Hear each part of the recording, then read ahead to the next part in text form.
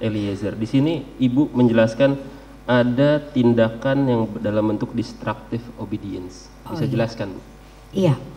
Jadi yang dimaksud dengan destructive obedience pada eh, Bapak Richard pada saat ada satu perintah di situ ada satu ada perbedaan status yang dimiliki oleh Bapak Richard antara Bapak Richard dengan Bapak Sambo eh, dengan pangkat yang terendah dengan latar belakang kepribadian yang menu- menurut hasil pemeriksaan ini memang eh, masih memiliki emosi yang kurang stabil.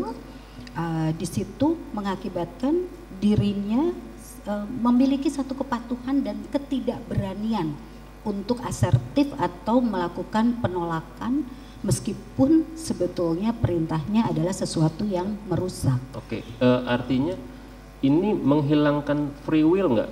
Kehendak bebas dia untuk memilih mematuhi atau tidak? Itu menghilangkan tidak menghilangkan. Tidak menghi- artinya Jadi tetap ada bisa free ya. will di situ.